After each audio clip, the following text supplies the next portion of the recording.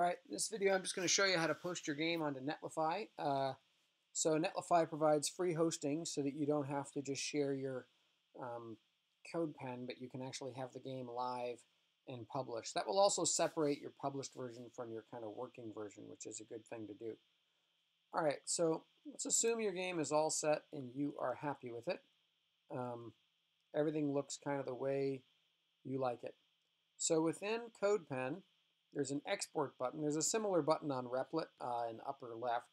So in CodePen, you're going to go export and then export zip.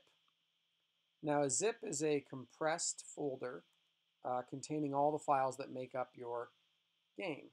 Um, on a Chromebook or a Mac or a Windows machine, really on any machine, you should be able to just open the zip from the browser. Um, depending on your computer, it might ask, like, do you want to open this with a zip opener or something? Um, in the Mac, it just opens here in Downloads in that folder there, Squix2. So you need to get the actual folder of stuff. Um, and that will create this folder here. And there's a, um, a source folder and a dist. Dist stands for distribution. That dist folder is what you want. Um, that's going to be kind of the, the actual running game. And we can confirm that works by just double clicking that dist and running it in the browser. And here you'll notice in the browser it says file and it's giving me a local URL and I'm actually running that game locally. There's a chance depending on your browser and your operating system that wouldn't work smoothly. Um, but here it's working quite nicely.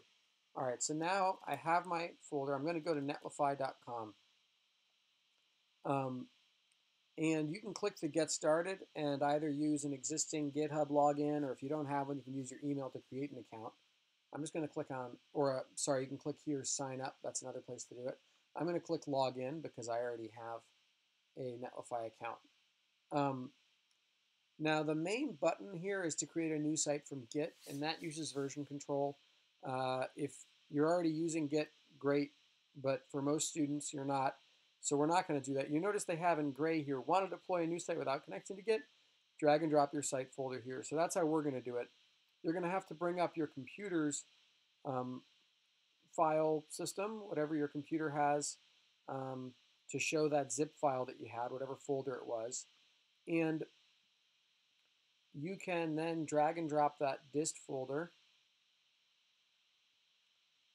right here, and it's very quick. Now it has deployed the site in a new link, and there's my game up on the internet. At this point, I'm done. This game will be there forever. Um, there it is with netlify.app. Um, you might want to go back here to site settings, um, and you can change your site's name. It makes up a random name. So I could change my name to be something I like as long as it's not already taken you then get a relatively straightforward URL, like mine's now squix.netlify.app. And anytime you go there, you'll see my game. Cool. Um, so there might be like, there's a few bugs in my game, like the, see, it's not quite staying on the browser size the way I want. So you might want to update your code. Um, you can't update the code on Netlify, but let's imagine that I'm going to make some changes here. Um, for now, I will just, um, I'm going to say, uh,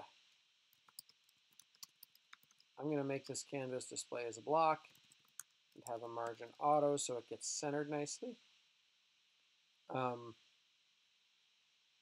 and maybe that'll fix that scrolling issue I had. So I didn't make many changes. I just did two changes there to my CSS to center my canvas. So display block margin auto just centers the canvas automatically like that.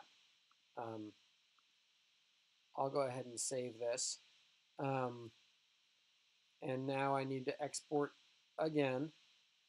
Export as zip. Um, hopefully your computer does a good job. See, mine now has a new zip. You'll have to, you'll be collecting a bunch of these files on your computer. You'll have to manage. Um, so there's my new zip. You see I've downloaded it three times now. There's my dist folder again. Now I go back here to general settings and where it says deploys, So sorry, this is back on the Netlify site. I go to my game. It says manual deploys. That means that I actually have to upload it manually. I then go to deploys. That's like a new one. Um, and this will now allow me to auto-publish. Uh, you can set it up so that you get a test version first. You probably don't care about that, but if you had a game and you had a lot of users or something, you might do a test first. But anyway, here we go. I'm going to drag and drop the new folder. It's going to upload and it published. And here I can see all the publishes. So this one published 1035. Here's the new one at 1038. It's already deployed. Um, I can come back to squix.netlify.com and reload.